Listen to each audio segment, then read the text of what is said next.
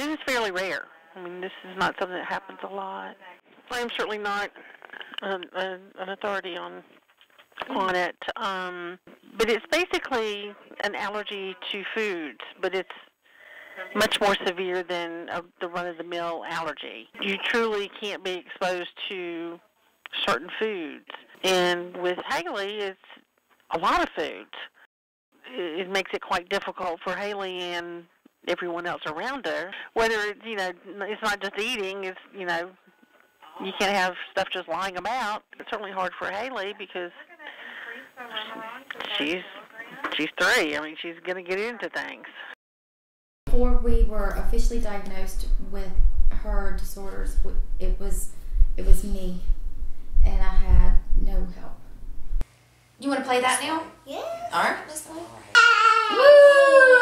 Ready? Do this. You remember? Here you go. Blah, blah, blah, blah, blah. Can you do it? Blah, blah, blah, blah. That's Big Hero.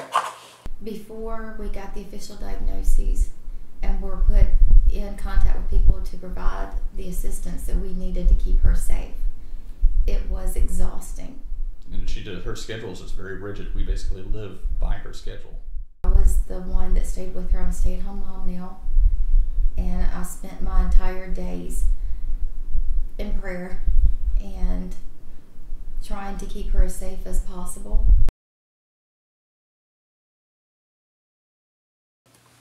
There we go.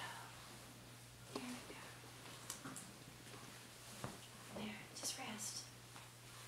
Oh, your feet are so pale. Do you need your bunny? No. No. Just want to get on that tummy and push it. It's almost I com I compare it to almost like military going out to on maneuvers. You have to plan for everything.